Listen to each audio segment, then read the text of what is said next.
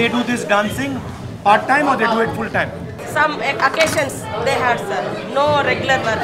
But they do they do it in festivals or when do they do it? Marriages and we do and uh, functions.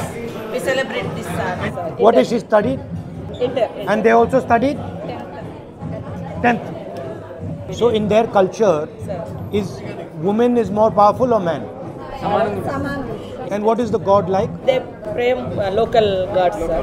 But normally in their culture it is group ownership of land.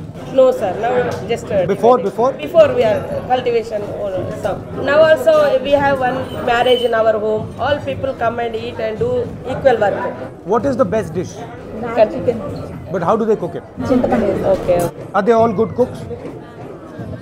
ఒకరోజు వంటది అందరం కలిసి తిందాం జంగల్ బొంగు chicken అంటే కళాకారులకి ఒక గుర్తింపు అంటూ ఏం లేదు కాంగ్రెస్ ఇస్తే కళాకారులకి ఒక గుర్తింపు అంటూ వస్తుందని మేము we have to protect our studies and we have we want to protect our cultural our tradition that is our aim Do they realize yes sir that the non-tribal society sir discriminates against them? Is is trying to destroy their culture? yes sir Do they realize?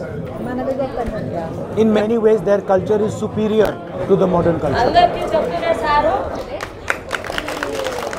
For example, that the whole world does not understand even today how to deal with the environment. And they understand how to deal with the environment for thousands of years. I like that in their society that women are the bosses.